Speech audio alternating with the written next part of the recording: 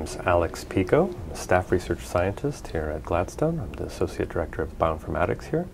And I focus on software tool development, um, online tools like Wikipathways, and also downloadable tools uh, to visualize networks, to visualize large data sets in the context of biological networks and pathways and processes.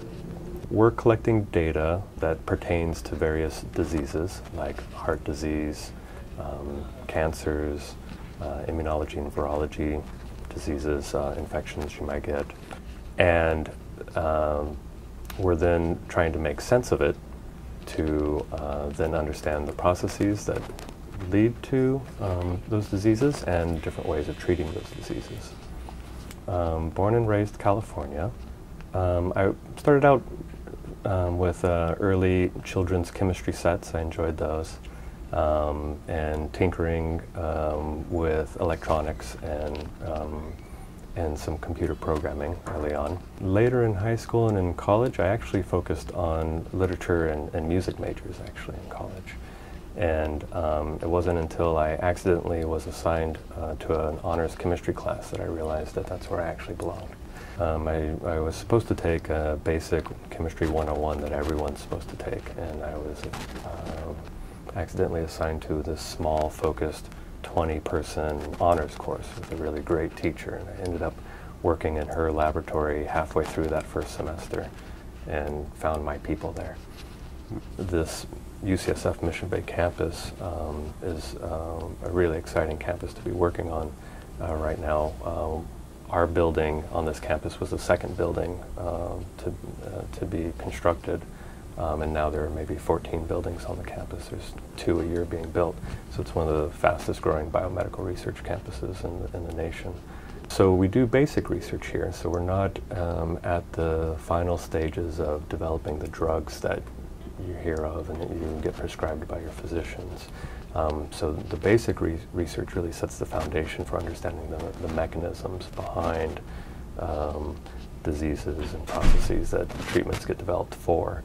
Um, and so there's sort of an indirect step there, but that basic research um, also helps in um, ways that aren't predictable. So when you're at the later stages and you're trying to make a target drug for a specific um, disease or population, you have one goal in mind. With the basic research, it's much more open-ended, and so there's the potential for um, having uh, effects that you don't have planned uh, ahead of time, and that's how most of these things actually end up happening.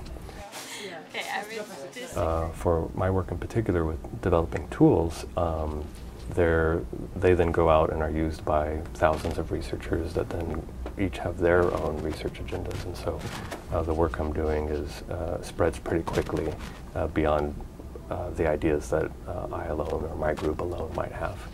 The tools we're building um, have a focus on collaboration and data sharing.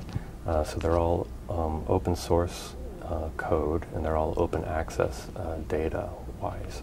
And so uh, those are relatively new concepts for basic research science, or maybe they're being rediscovered by basic research. And so uh, that's one way I'm uh, trying to transform the culture of research to be more open and to be more, um, more of a sharing economy, basically launching a piece of software that's then used by a lot of researchers uh, around the world is really satisfying. Um, and so we have a couple projects uh, that are being uh, downloaded on a daily basis by hundreds of people. Um, and it's um, really gratifying to see uh, those projects um, um, being useful in the hands of researchers. And the other aspect of it is uh, training uh, new scientists in my group is very, very rewarding, seeing them uh, develop as researchers in my group and go on and take other positions.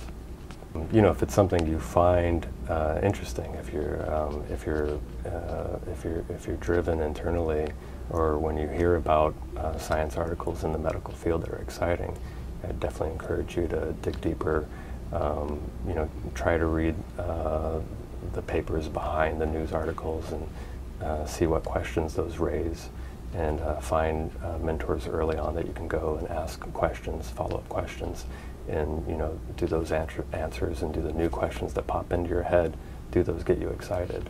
Um, if, if so, then you know those are those are the right ingredients for a, for a good career in biomedical research. Follow what interests you.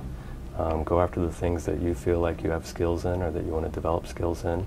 Follow, do the things that interest you um, in the short term, and uh, those will open doors and build into uh, new opportunities. The path in my research career has been uh, filled with a lot of uh, serendipity um, uh, steps where uh, they weren't planned ahead of time. And so um, I want to worry about those obstacles. Música